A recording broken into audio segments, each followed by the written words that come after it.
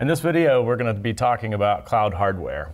And, and specifically, we're going to be talking about cloud storage and the fact that it is basically storage sitting in the cloud. And what are the different types of storage that are available to, to purchase and consume as an end user or as a business? Really high level, let's keep it simple. There's three different tiers of storage.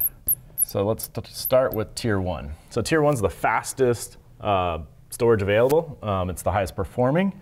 And generally, that's where you want to put your production, you know, servers, desktops, whatever you might be hosting in the cloud. The physical disks are actually called SSD, sometimes also called flash. And basically, that just means that they're not spinning like a record player would spin, you know, and, and, and slow down the access to the data. So when the computer needs something off the storage, it goes directly to the sector on the, um, the, the, the, the platter, so to speak, and gets that data. So it's really fast. If you compare that to tier two storage, uh, tier two is a combination of SATA or SAS storage. Um, so serial ATA or, or serial attached storage. It looks like a record that spins uh, in circles, and the computer has to get the data and wait for that platter to come back around to where the data actually sits. So it can be relatively fast. Um, sometimes customers will put just basic file servers, print servers on that type of storage. Maybe not like high performance database servers or, or desktops where the end users are, are trying to access data very quick. And then from there, you have tier three. And you might say, well, why do you need a third option of storage? Well, think about things like backups and, and healthcare companies where they're storing medical records for you know, people from the day they're born till they're, till they're 19 years old to you know, basically um, achieve HIPAA or HITRUST uh, compliance.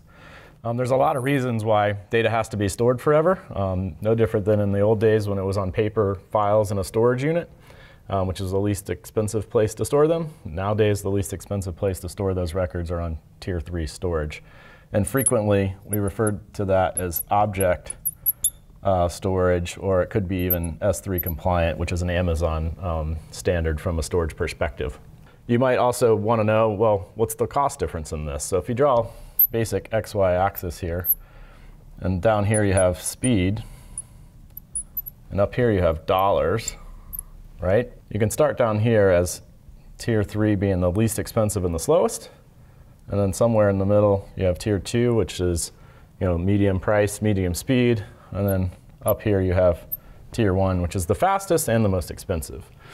Um, when you're comparing different cloud providers out there, you'll often see um, people that are trying to win deals on price, and they may uh, provide you slower storage when you actually need higher performance, um, just to win you as a customer and um, you know try to upsell you into that higher performing storage later. You know, at RapidScale, we sort of go the other direction. We start with the highest performing with the assumption that you don't really want to wait and, and slow things down unless it's for backups or, or disaster recovery or something like that where it's not necessary to pay a lot of money for that storage.